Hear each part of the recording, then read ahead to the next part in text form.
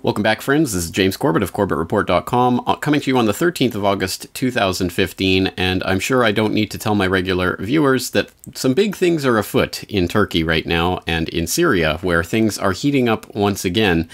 So, we have a very special guest lined up for you today to talk about that. We're talking to Sibel Edmonds, who I'm sure the regular followers of BoilingFrogsPost.com and the Probable Cause podcast will know has been out of the country, uh, in the region actually, for, well, too long now, altogether too long. So, back from the region with some intel and to update us on what's happening there is Sibel Edmonds, BoilingFrogsPost.com. Sibel, thank you for joining us today. Thank you for inviting me, James. I'm jet lagged, so I'm trying not to slur too much.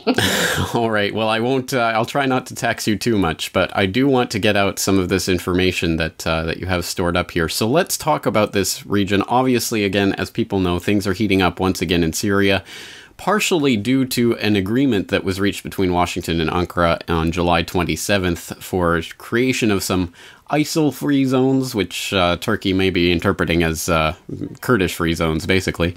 But uh, but let's let's set the scene of that agreement by talking about an incident that took place a week before it was reached in uh, the southeastern Turkish town of Suruc, where the uh, social the Federation of Socialist Youth were preparing uh, basically an expedition to Kobani uh, across the border in Syria to help the reconstruction of that uh, that devastated uh, area and lo and behold, a terrorist bombing strikes, leaving 31 dead and close to 100 injured. A uh, very dramatic incident that, of course, ramps up the tension and uh, basically allows for Turkey to say, hey, wait, we're under attack. We have to ramp something up. And then, lo and behold, they reach an agreement with Washington to do so. A very interesting bombing in terms of its timing, but uh, I understand you were in the region when this happened. What's uh, what's your take on what actually happened there in Suruc?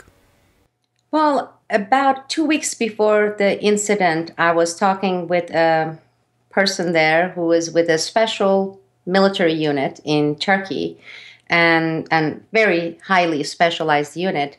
And I was told uh, that the order directive has been given for um, full extensive war preparation going from where they have been to that degree, and for operation that was going to start at the end of April and be finished within six months, which would bring us to about November, with expectations of triggering events taking place in the month of July. And so, in the months of May and June, actually, Turkish special forces and other units, including medical units, have been setting setting up special barracks to handle any injured, etc., etc., along the border. So that conversation I had actually two weeks before the event, and I was within 150 kilometers of, of where the event took place. And again, this was expected to say that in July, triggering events were going to take place. So that's for that portion of it. But other uh, kind of strange events took place from people I spoke with. Uh, certain eyewitnesses uh, were rounded up before they were able to give their statement to the media that showed up there within uh, within an hour or so, and that was highly mysterious. There were many many speculations around that why they rounded up these uh, eyewitnesses. I guess some of those people were um, told what to tell the media. Again, that's a speculation. Others maybe didn't even speak with the media, but uh, there has been differing. Um, eyewitness uh, accounts of, of how it took place. And not only that, a few days before the uh, event, um, by uh, just a indirect or unintentional leak, uh, certain newspaper reporter was told that some female suicide uh, bombers are going to attack targets within Turkey, and it's going to happen, you know, within this month. So whether it was an intentional leak or not, I don't know. But the fact that the Turkish intelligence agencies and the police they had supposedly these uh, these tips, so it was not unexpected. It didn't come as a shock. The casualties, of course, were a major major shock, especially considering the people who were targeted there, it was in a way it uh, seemed to be killing you know two birds with one stone uh, for for the group that had their meeting there. And this is an ngo volunteer group who tried to set up parks etc for underprivileged um, uh, po- segments of the population in that region. So there are again lots of uh, highly questionable um, situations there with with some speculations but i would say for me personally it went beyond the speculations as i said 2 weeks before that i was told that this was a timeline and this was going to happen and hinged upon certain agreements between Turkey and the United States, and we'll get into the obstacles that are on the way because it's not written in the stone, the agreement between US and Turkey on Syria.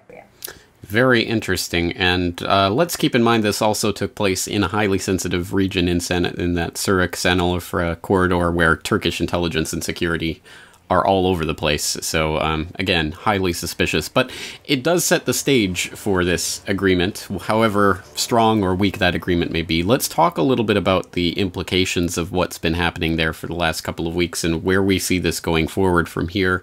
Obviously, as uh, we reported here on Corbett Report recently, this agreement essentially is uh, uh, being used by Turkey as a green card to start you know, basically bombing the uh, the, the, Kurdish uh, and get trying to get rid of the Kurdish uh, from the area as well, and creating these Kurdish free zones as well as the ISIL free zones that apparently Washington was supposedly going for here. But I think everyone knows that this is all um, something of an excuse uh, for everyone, every vested interest in Syria to to use this towards their own agenda.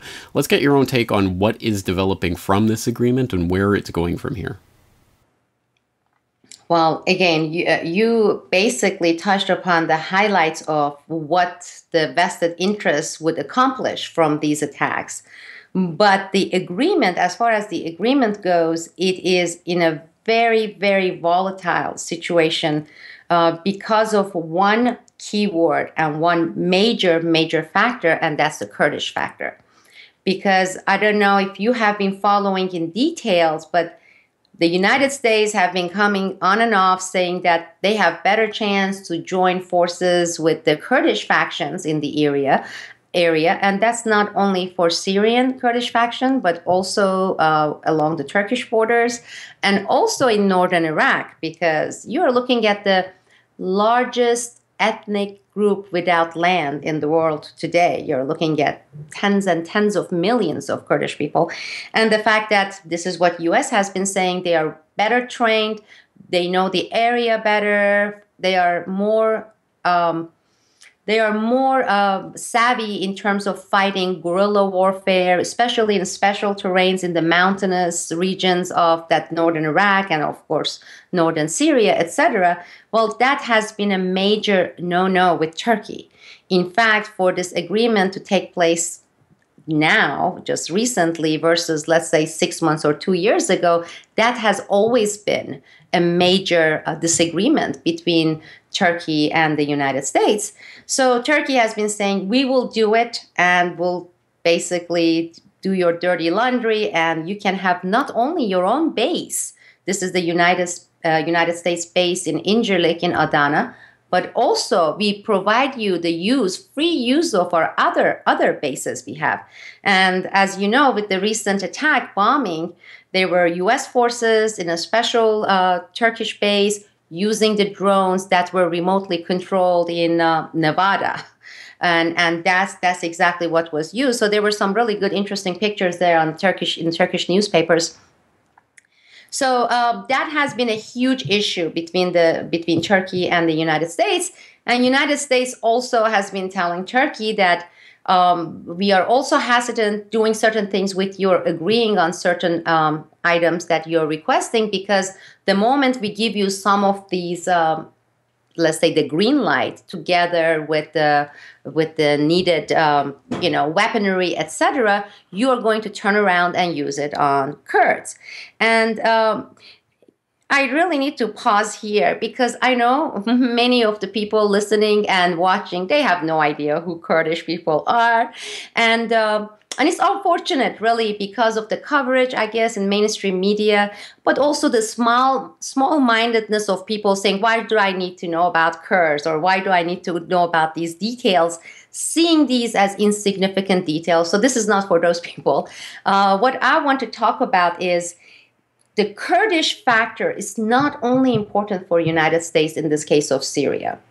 Kurds in northern iraq have been used. Again, this has not been reported by US media since we went to Iraq in 2003 2004.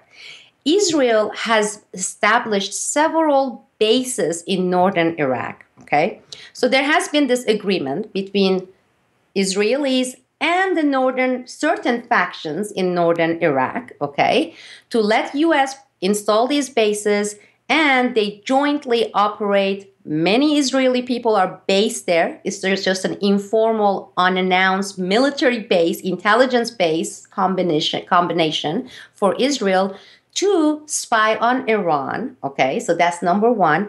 But it goes beyond spying on Iran. They are also trying to forge certain relationship and partnership with the Kurds in Iran. And again, this is not for the ignorance out there, but Iran also has a large population of Kurds there, and that would be in northwestern Iran. So you're looking at vested interest, and that was a very important key uh, word that you used there. So Israelis have vested interest on this Kurdish core Kurdish issue, okay, that, that the US is right now having this struggle with Turkey. Turks have it. Syrians have it. Iraqi government has it. United States have it. So right now, the biggest factor issue, the, the, the determinant factor out there is the Kurdish factor. And I really don't see how it can be in any way put aside because it's some kind of a factor that cannot be set aside. And we see it with with the recent bombing in Istanbul, the police station, and because they are saying, and again, I don't know who to believe, the newspapers, including US newspapers, saying PKK claimed responsibility for that. Did they? Was it really PKK? We don't know. But I would say we need to watch the situation with the Kurds and this agreement, especially with the latest statements from the United States that they are seeing this strategy of using and working with the Kurdish factions against ISIS, which is not against ISIS, it's against uh, Basa, uh, uh, Assad's government. Uh, it's uh, it it makes the agreement kind of much more uh, on a shakier grounds than it was even I would say a week ago. Well, that's right. I mean, again, I think we have to understand this agreement in these safe zones not really fundamentally about ISIS at all, fundamentally about the Kurds, and of course also the foot in the door for the uh, overthrow of Assad, which is still has always been and continues to be the main priority uh, for the U.S. at any rate. Um, what are the other? What's the position of the other uh, co- coalition members on this? Uh, the Jordanians, the Saudis, the Qataris, the others that have helped ISIS. Do they have a position on the Kurdish issue in in particular? Because they don't have Kurdish problem or the factor within their countries, I would say that factor is not important. But I'm glad you brought it up because a new uh, rumors uh, began floating about two weeks ago in the region, and that would be I was in Turkish region, northern Iraq region. So the rumor was that in fact, many of these female suicide bombers, and supposedly many of them are still around and lurking around in Istanbul. They are targeting at least three, four targets in Istanbul. They, they could say that with certainty there were five of them highly dangerous with with uh, with mission that they were going to use as a suicide bombing. But the latest rumors keep becoming that in fact these women were not from Syria they were not Kurdish, but that all these women are from Tunisia. And that was the first time I'm hearing all the stuff on Tunisia. So I started now in my little things that I have with my favorite sites, putting the keyword Tunisia to see what is about to happen there because where would that come from? Suddenly saying that these female suicide bombers are neither Kurdish or ISIS from from uh, Syria, but they are Tunisian women. Why would Tunisian women suicide bombers end up in Turkey with targets? That just again begs the question. So I'm glad you brought up uh, that point. And Jordan always has been, Jordan is already a done deal with US, the agreement. As you and I reported before Syria became headline news in the United States in 2011, you and I covered the informant that uh, the that gave us the tip on the uh, northern Iraq and also in in Jordan, the base in Jordan, but also my sources who told me that in 2011 May United States, in Turkey, in Incirlik base, in Adana, so southern part of Turkey, they began bringing in, training, arming these factions. Factions, the same ones that right now they're being called ISIS, you know, against Assad, and they were then funneling them back into Syria. So this is four years old. This is since 2011 May. And uh, of course, six, seven months after we reported, Syria began slowly creeping into the headline news here in the United States. So to say that uh, ISIS and, and what is ISIS? I mean, really, um, it's, it's a self created uh, brand name. In fact, another thing I would like to mention again from people who have been on both sides of the borders between Syria and Turkey, and they are reporting blue eyed, heavy, thick British accent people, not in dozens, but in hundreds. And they are dressed as what we see depicted as ISIS. And the people I spoke with, they are they have no reason to come up with any conspiracy. These are the people actually who work for um, Turkish military in in uh, various uh, positions and with different kinds of relationship, but they are in and out, and they are saying everybody knows. It's not like I'm leaking and giving you some inside information, but the region is swarming with heavily uh, British accented uh, Brits there. No, this this isn't. Uh, yeah, this isn't conspiracy theory. It's now no, admitted. No. Sunday Express has been reporting the SAS are dressing up as ISIS fighters. This is Absolutely. now mainstream news. Absolutely, and many, many, many sources have reported this. And these are that includes truck drivers who are still going in and out between the between the two regions. So that's for me, that's a fact. It's not some kind of a speculation or some kind of a rumor.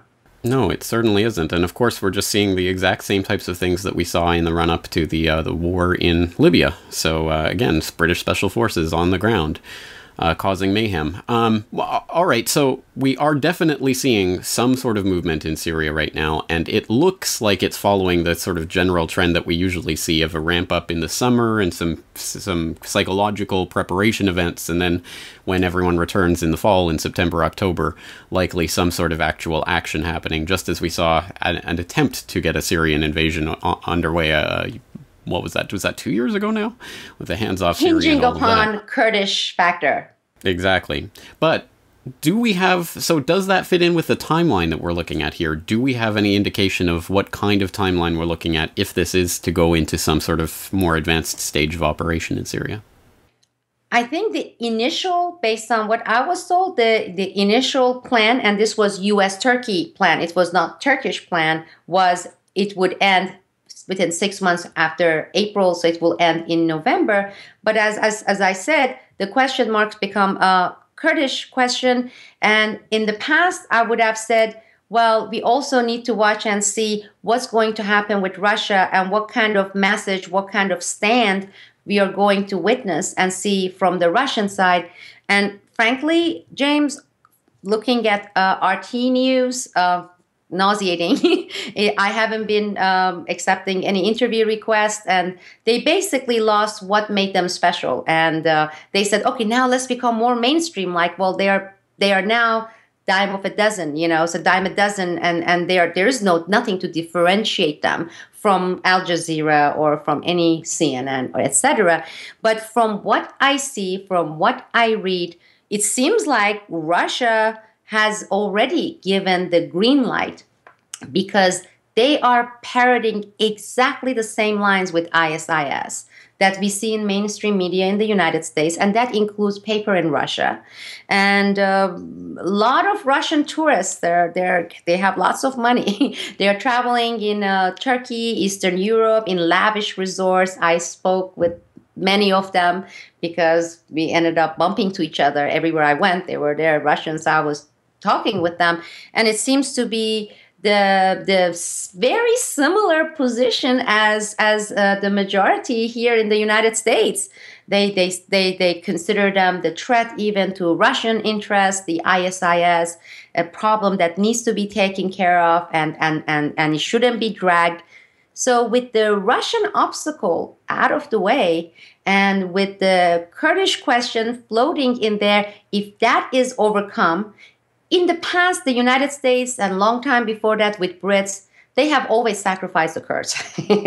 so it's for them always has been, you know what, we use them and then we turn around and we just feed them to the wolves. And that has happened. And I have no idea why many Kurds haven't learned the lesson that they form alliance, whether it's with Israel, whether it's with US, whether it's with the Britain, and they do things. They end up serving their interests. And in the end, they always have been fed back to the to their abusers whether it's been let's say in the iran in 1960s and 1950s or let's say with turkey and that that's the part that I have a hard time understanding. And uh, and I'm sure there will be people who would disagree with me and say, well, it is not as you view it. Here are the things. But I have spoken with certain Kurds, and and I have been told, including a particular group with presence in England, and I met with them in London, and they said.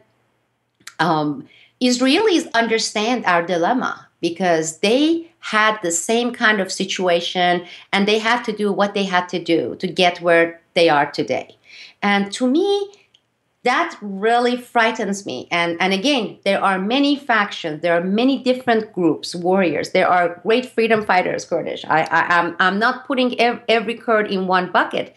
But when I talk to these people, and now they see uh, Israel as their guardian angel in northern Iraq, or in this case, the United States in northern Syria, I have to shake my head and say, remember what happens every time. You are used royally, and in the end, when they are finished, they don't want you to have your land. They don't want you to have your nation.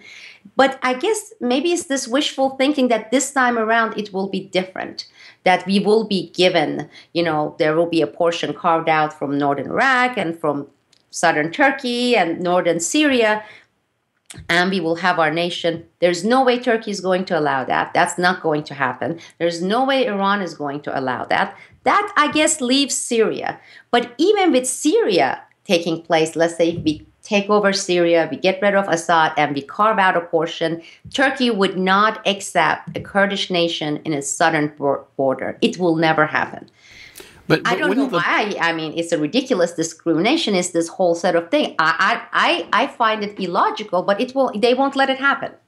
But but wouldn't I, I, so I, I, I certainly understand and and uh, what's going on here, but ultimately doesn't the Kurdish population work better as a chess piece for the U.S. and Israel as as that destabilizing influence? Do they actually want to create a Kurdistan, or is it just better to have them as that pocket of resistance that they can use in various countries like Iran, in Turkey, in Syria? Exactly. I mean that that's that was the point I was trying to make, and you articulated far better oh, sorry. than me because okay. that's what they use them. But let's say after the operation is finished, okay, and let's say Kur- Turks come and they do a post operation after Syria operation, and they let's say massacre fifteen thousand Kurds. US would not blink, they won't interfere, they won't do anything. They let the same situation continue. So they're going to find themselves back where they were where they are today. It, the situation, the position has not changed. Okay, I, I see that you raised pr- probably one of the most important things when it comes to taking a look at the impossibility of increased um, military action in Syria, which is, of course, the Russian question, which has always been there on the table. And as you say, Russia is now seeming to make uh, some olive branches on this uh, uh fighting the Islamic State, so we have to fight idea. And um, we can have more on that from Russian for, uh, Foreign Minister Lavrov, who's apparently making the media rounds now talking about a Putin initiative to un- unite and create a united front against ISIS. So I think we see where that's tending. And uh, I don't know, it, everything seems to me to be shaping up towards uh, some sort of actual military um, uh, ramping up in September, October. We'll have to see what events take place between now and then, but I think something else that we should cover um, while we're on the subject of media and uh, media actually doing its job we saw a surprising example of that from Al Jazeera, of all places, with Mehdi Hasan on Hardline interviewing former DIA director, um, was it Michael Flynn?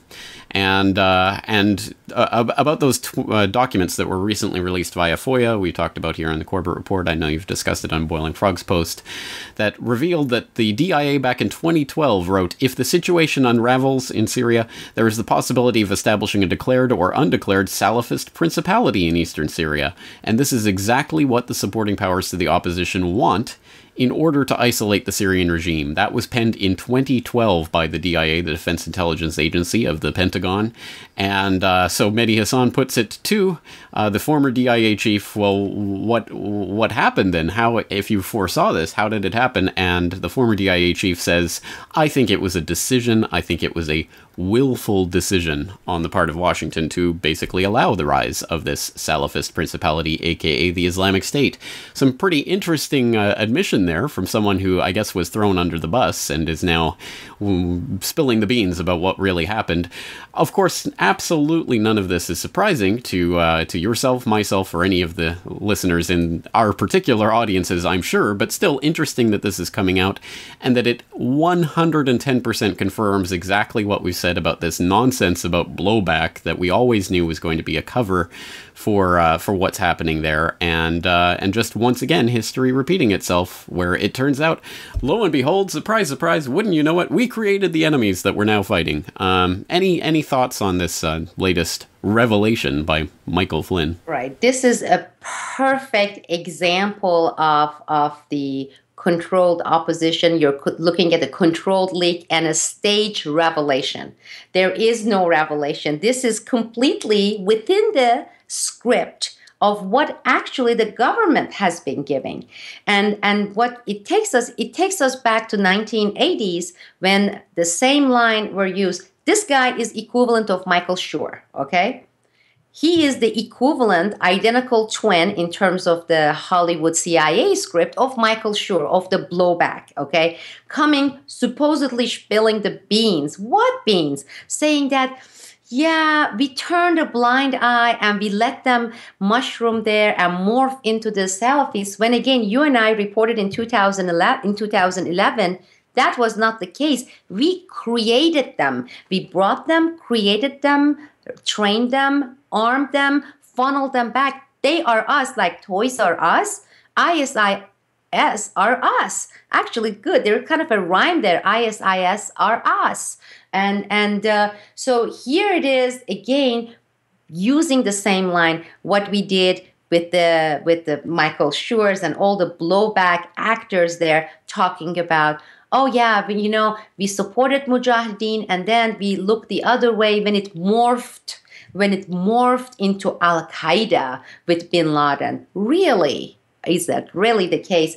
But again, look where it's being reported. As I said, Al Jazeera, RT. I don't see any difference. But um, and this guy, he's not. Uh, he he he is uh, spilling their beans, the beans that they created to be spilled. And you know it. I know it. And I believe many of the people who watch your show they know it.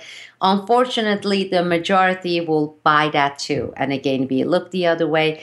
Maybe the lesson here is as you see some indication, you go and you bomb them. You actually bomb them and declare war before anything happens.